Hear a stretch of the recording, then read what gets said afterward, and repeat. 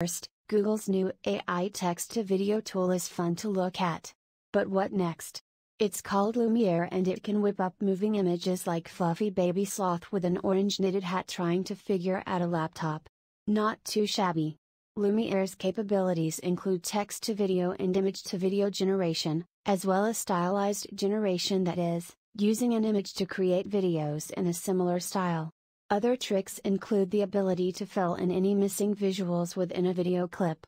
Nevertheless, video editing tools hold a lot of promise. Using a source video in prompts like made of colorful toy bricks or made of flowers, users can purportedly change the style of the subject completely.